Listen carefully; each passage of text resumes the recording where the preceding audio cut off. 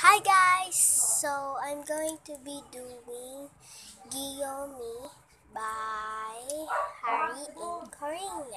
This is the original version and, and the original dance. So let's do this.